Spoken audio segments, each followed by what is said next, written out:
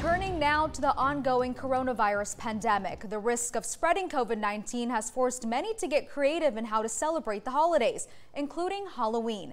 NBC 15's Laura Barcheski spoke with one Mobile woman who changed things up this year to make sure Halloween was both safe and fun for everyone. Laura's live there tonight. Laura. Jasha, Catherine Lode says she always goes all out for Halloween. And this year, even though it was a little bit different, she, made, she found a safe way to hand out treats to the whole neighborhood. Halloween may not look a whole lot different on the outside this year, but the way people celebrate has changed due to COVID 19. Because I usually have this all uh, roped off and I let the kids come in and walk through the yard. But this year, because of COVID, I'm just going to give it out at the gate so they won't have to stand around and everything. They can just get it and go.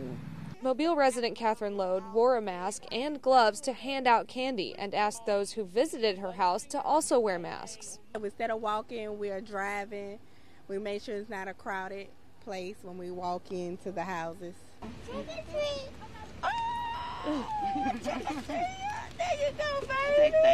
Parents say they were determined to make this holiday as fun as possible for their children while doing their best to be safe.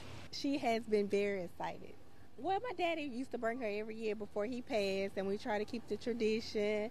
Lode says both the kids and their parents needed a little bit of happiness during these tough times. And it brings so much joy to so many people young, old, even teenagers.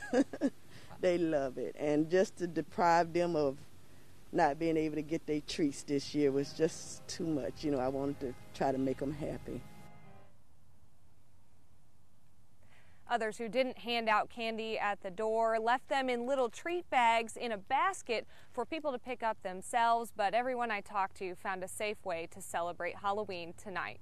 Reporting live in Mobile, Laura Barcheski, NBC 15 News.